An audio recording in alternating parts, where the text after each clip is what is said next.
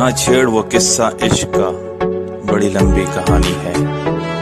मैं किसी गैर से नहीं हारा, किसी अपने की मेहरबानी है।